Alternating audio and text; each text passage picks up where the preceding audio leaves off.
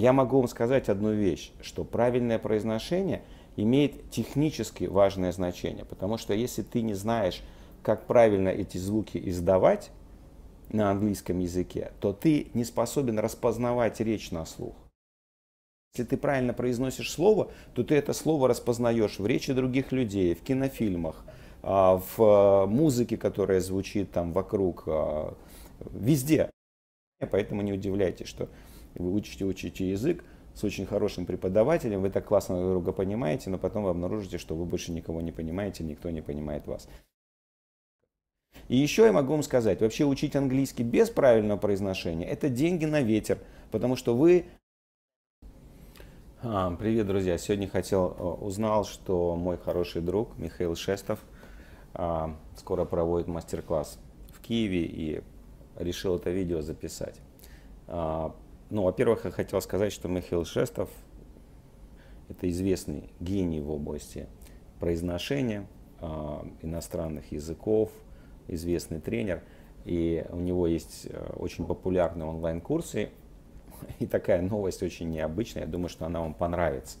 Понравится особенно моим друзьям, которые хотят изучить английский. Ну, во-первых, Михаил прямо сейчас записывает большой профессиональный видеокурс – по произношению, а, курс для самотренировок а, по книге The Business Owners Defined. Эта книга, а, это, э, русский, это английский вариант моей книги «Обязанности владельца компании». То есть эта книга уже в Штатах опубликована. Сейчас Михаил делает вот этот вот его знаменитый видеокурс по произношению, и этот курс позволит одновременно и произношение улучшать, англоязычная, и книгу читать правильную об обязанностях владельца компании. Но мы давно уже э, с Михаилом сотрудничаем, и я могу сказать, э, очень, на самом деле очень непростой человек. Очень непростой, но абсолютно гениальный в своей области. Знаете, э, когда он критикует э, учителей, э, преподавателей с плохим произношением, у меня самого мурашки по, всей, э, по всему телу. Но что интересно, это стимулирует действительно задуматься о, о произношении. А, некоторые думают, что произношение а, в английском это какая-то косметическая э, штуковина. Это что-то э, ради эстетики, это что-то ради красоты. И это на самом деле не так важно, потому что главное, чтобы тебя понимали.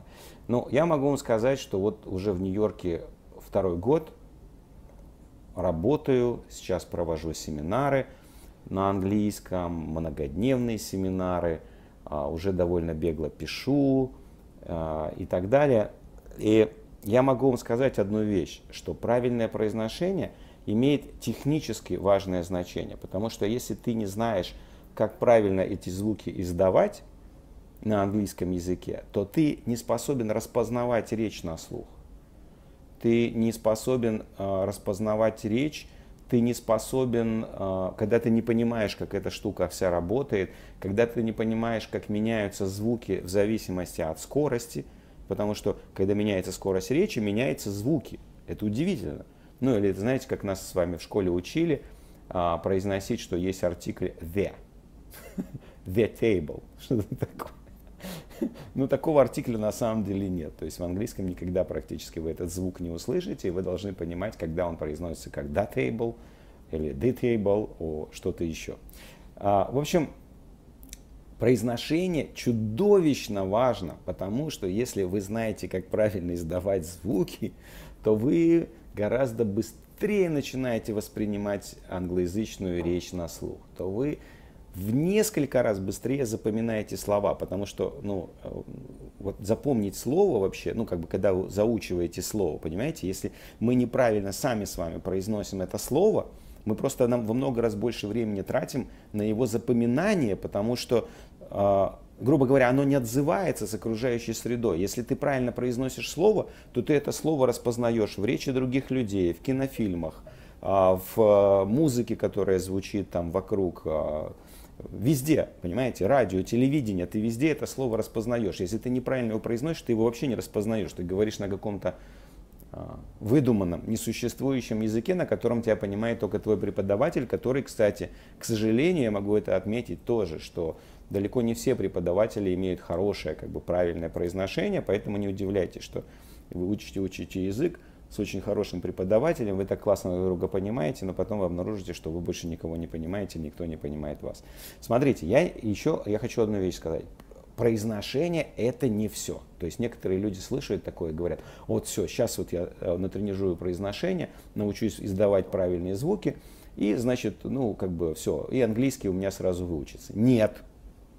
Но это один из базовых навыков, один из главных навыков.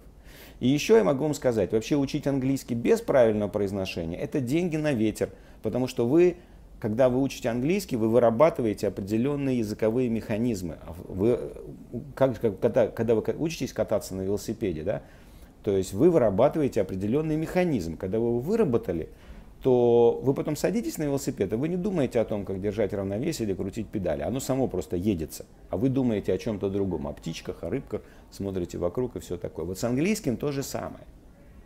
Надо выработать этот механизм, на который вы будете садиться и ехать. Как вы на одном языке, вы же не думаете, как произносить какие слова. И точно так же должно быть на английском. Но, понимаете, когда вы не научились правильно издавать звуки и инвестируете свое время и деньги в изучение английского, то вы создаете, да, какой-то механизм, то есть вы тратите на это больше времени, больше энергии, потому что правильное произношение легче запоминается, легче механизм создается – но вы не получаете возврат на эту инвестицию, потому что вы создали какой-то механизм, который, да, он работает, но он не позволяет вам понимать окружающих, и он не позволяет нормально окружающим понимать вас. А, поэтому произношение это не косметический вопрос, это не вопрос эстетики, это вопрос, который потом вам а, возвращается в скорости изучения английского. Еще раз хочу повторить, он не заменяет изучение английского как языка с его словами и грамматикой и со всем остальным. Но он значительно ускоряет это изучение, он значительно ускоряет и заучивание слов, и самое главное, он значительно повышает, правильное произношение значительно повышает вашу способность понимать и быть понятым. Многие люди думают, что произношение в английском это какой-то косметический, а, значит, снобистский вариант. Нет, это просто подход нормальных здравомыслящих людей, которые хотят сэкономить свое время и силы. И они не любят тратить свое время зря. Так что очень рекомендую вам. Все, пока, ребята. Хорошего дня.